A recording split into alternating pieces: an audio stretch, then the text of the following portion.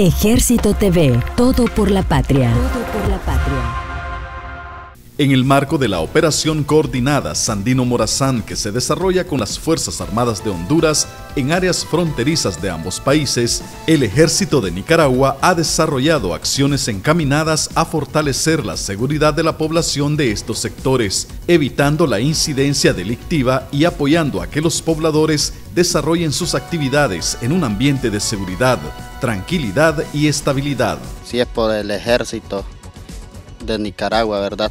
Lo sentimos bien aquí en el porvenir, gracias a Dios no, hemos, hemos sido respaldados, no, no ha habido ningún daño que, que lamentar, el, siempre los han respaldado en, en todos los momentos que los hemos necesitado.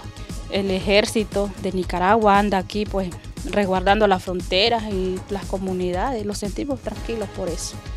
Si no hubiera un ejército que cuidara, pues nos sentiríamos inseguros llegan a visitarlo ahí o van rotando lo que es el área de la finca, pasan, pasan rondín ellos ahí siempre, seguidos pasan por ahí y se mantienen más que todo pendientes de nosotros.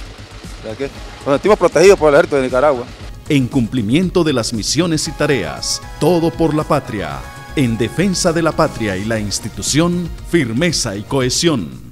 Ejército TV, todo por la patria. Todo por la patria.